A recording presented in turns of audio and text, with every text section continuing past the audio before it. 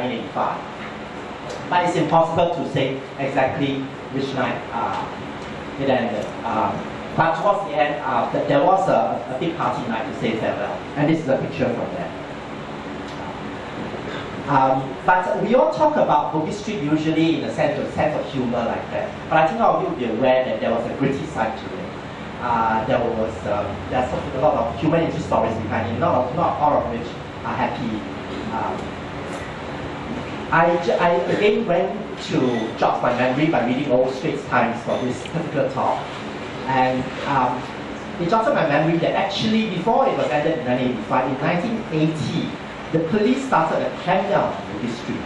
And the transgender people were forced to operate elsewhere. And they went to Orchard Road and went to Geylang.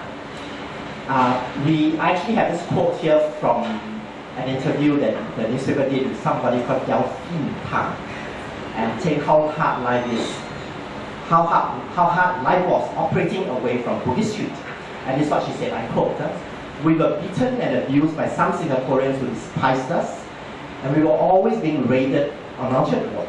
At least here, here meaning Bugis Street. The foreigners are more broad, broad-minded and treat us well. So one little sad story.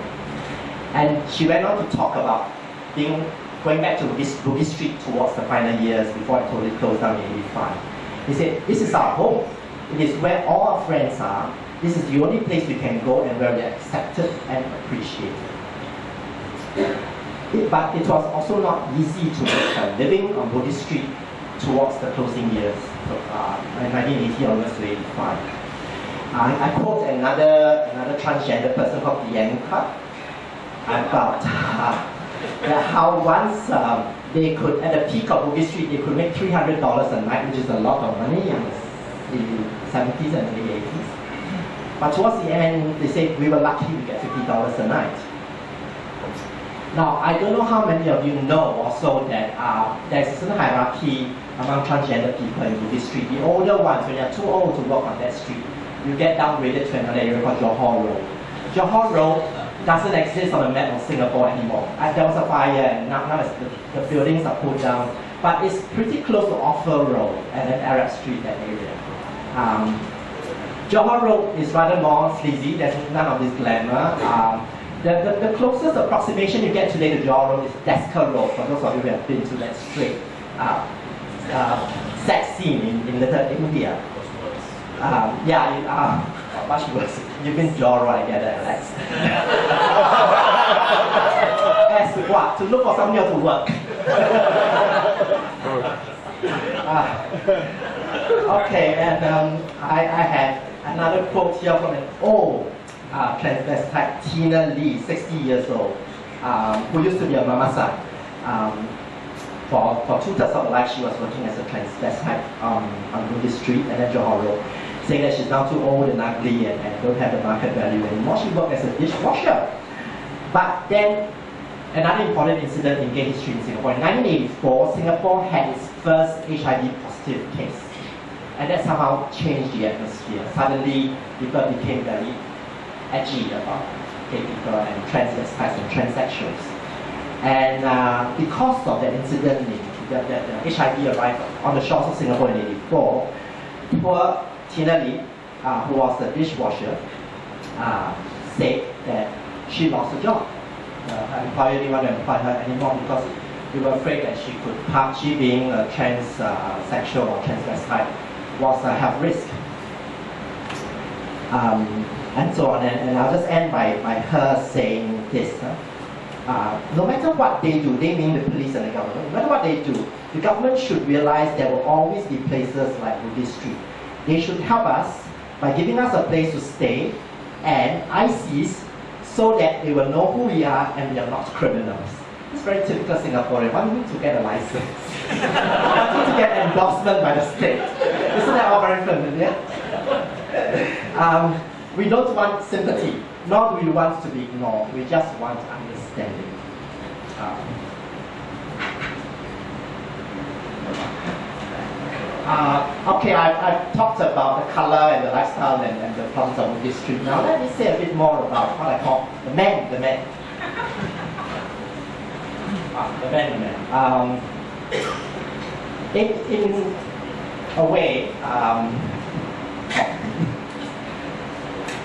Street in a way was also a reflection of a certain, a certain gay mindset in Singapore at that time. I have a couple of friends who are not really cross-dressers. Uh, they're actually gay people. Uh, and they want butch men.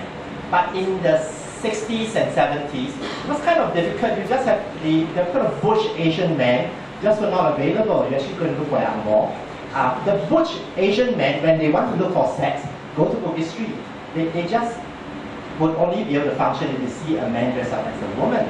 So my friends then decided, well, that's the way to go. Uh, you, you dress up and go and have your fun there.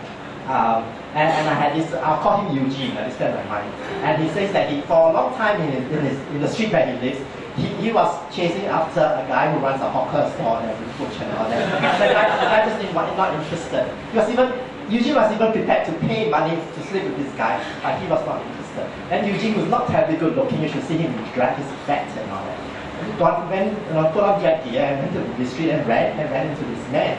And the tables were turned, the man was prepared to pay for his sex. So, but there's one rule about operating on the street. The rules of the game is that you can do all that, but you can't give it for free. You have to charge. Because if you give it for free, you're winning the market. And the other people who are really earning a living on the street will do nasty things to you. You give it for free. Um,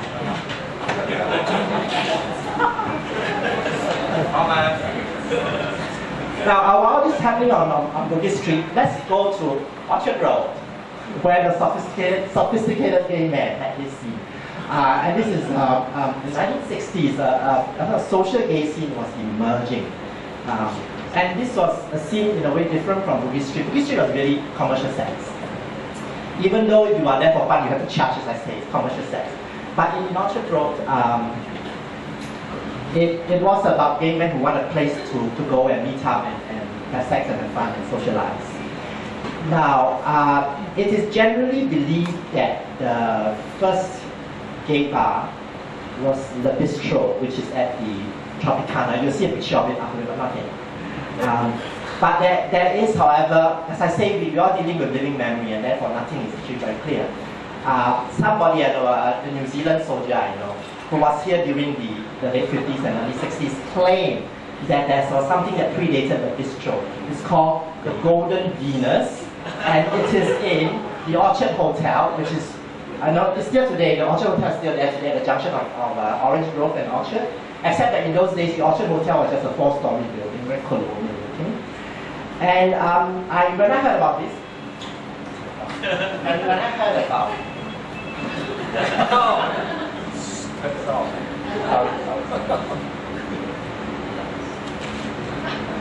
uh, when I heard about this, I was then overseas um, and I asked a friend to check it out for me. This is in the early 70s and he went and reported that it can't be gay. It's very much um, like, you know, you, you walk in and um, there are tables with white tablecloth on them and then you order drinks and the Coca-Cola comes in bottles. And the waiters were all kind of like, Hainanese waiters were all more than 40 years old. That's all places like Hans or something. now, now, having said that, this, this is checking in the 1970s. It could well have been a real swinging place in the late 50s and the 60s. Uh, we, we really need um, uh, some research into this to ascertain the truth. Um, I, how much time? Right, uh, let, us talk about bistro. Okay, this is where, if, if bistro is indeed the first gay bar, this is where it was at. Uh, in this building called Tropicana. It, it is where today is the Pacific Plaza.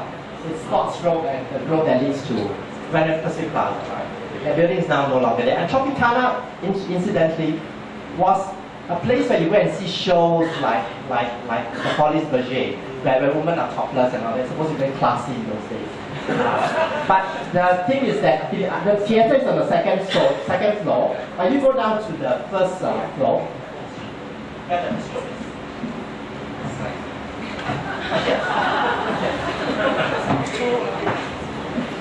it has two entrances. Uh, and um,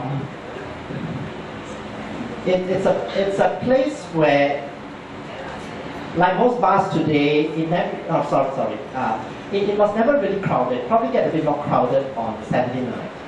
Uh, but you, you never have to queue up to get in. So it's very unlike the gay scene today. It's, it's all kind of uh, a bit quiet and muted. And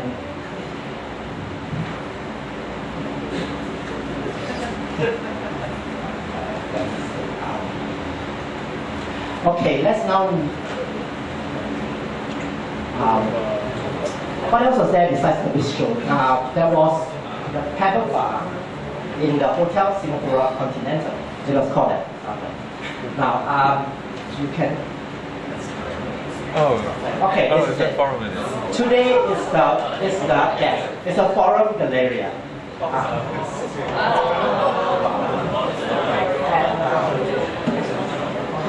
By the by the way, I must acknowledge the SPH and Straits Times. Let me have um, forum,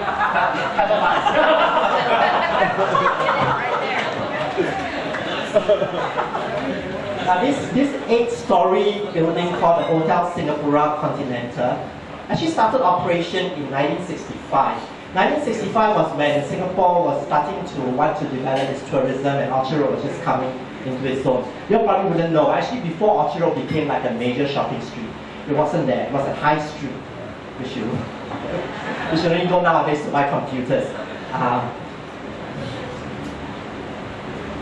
And, and this, this was uh, one of the first supposedly posh hotels open on Orchard Road.